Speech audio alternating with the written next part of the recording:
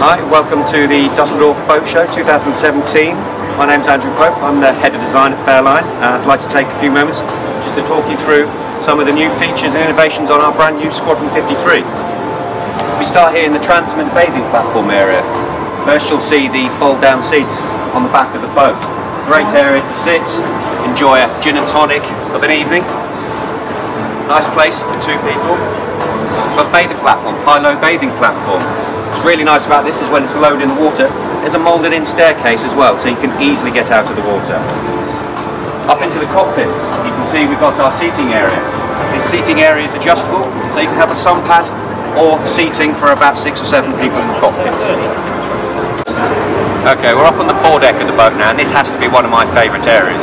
What I really like is the fact we've got this central access to this really secluded area. Great place to sit in an evening, and enjoy the sunset. We've got sunbathing area, we've got seating areas. There's a cantilever table which you can fold out here as well, so you can get three or four people seating around it.